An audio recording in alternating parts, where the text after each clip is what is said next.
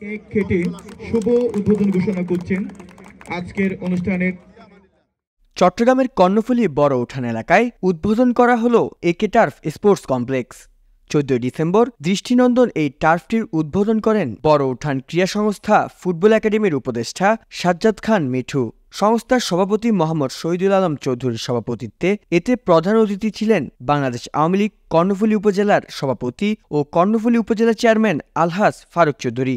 এ সময় আরও উপস্থিত ছিলেন সিজিকেস কাউন্সিলর মোশারফ হোসেন লিটন, হারুনুর রশিদ, মোহাম্মদ আব্দুল রহিম, সাইদ খান আরজু সহ বিভিন্ন ক্লাবের সংগঠকরা। বিশেষ করে কর্ণফুলির জায়গা তার মধ্য থেকে আমরা খাস জায়গা বের করে পাঁচ ইউনিয়নে পাঁচটা খেলার মাঠ আমরা বের করেছি।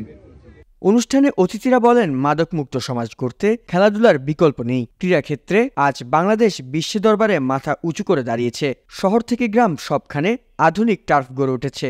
একে টার্ফ স্পোর্টস প্রতিষ্ঠায় সকল কর্মকর্তার প্রতি অভিনন্দন জানান তারা।